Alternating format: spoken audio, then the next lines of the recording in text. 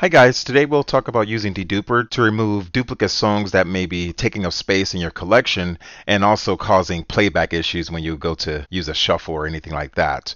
The first thing that you'll want to do is set iTunes to display what is called exact duplicates. This allows you to view duplicates of the same album. You simply navigate to uh, the view options within iTunes and instead of just choosing show duplicated items, you'll actually want to use the modifier key. On Mac, you'll want to hold down the Option key, which will give you the option of show exact duplicates.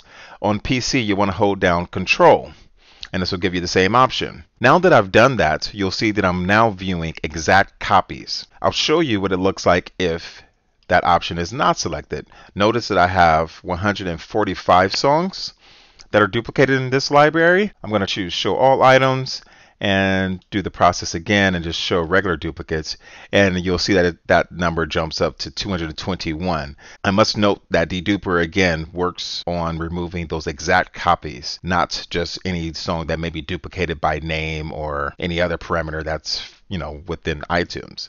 So going back to exact duplicates I'm now seeing 145 and we'll just go ahead and scan our library for duplicate songs by pressing find duplicate songs. Deduper will now scan your entire collection and start locating duplicates. As duplicates are found, they'll be displayed here. This process can take a bit of time, especially depending on the size of your collection. However, most collections can be scanned relatively quickly. As you can see here, mine is moving through quite nicely.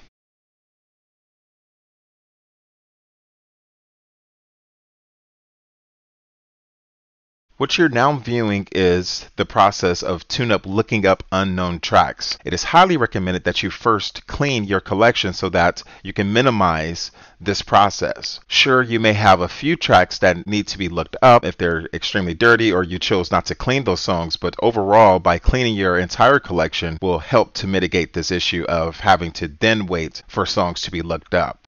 As you can see, it can add up to 18 minutes of time. Okay, so once the process is complete, you notice that we now have the option to choose dedupe all. However, before we do that, I do want to point out some of the things that you will see in your screen.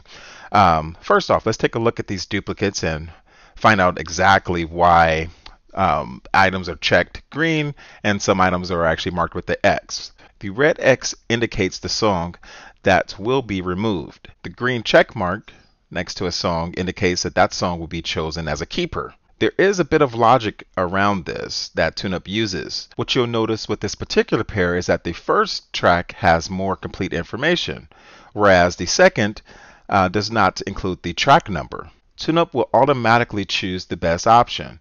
This also includes the quality.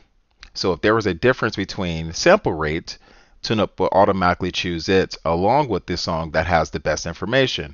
This would also be a good opportunity to mention again that if your songs are cleaned, you'll get the best result. There's one more area that we should discuss, and that's how to find duplicates at the file level. You can do this by simply clicking the folder icon next to any particular track, and from there, you'll be able to view those duplicates. It's important to note that if you have more duplicates in this folder that are not being shown within deduper, this is actually due to an iTunes library issue which you'll want to take care of. From here, I can now choose to remove all of my duplicates in one click by choosing the dedupe all option, or I can work within individual pairs. For this purpose, I'm going to do it by pairs. Upon doing so, if you have not removed duplicates before, you'll be prompted to choose where you would like to store your duplicated files. I'm going to choose the default location where I store my iTunes collection. I'll just choose music. Once I select, deduper will begin its process. That was a bit fast, so we'll do another one and another again. And that's all it takes. From here, I'll just go ahead and choose dedupe all. Help with cleaning and other tips and tricks, please check out the other videos within this series.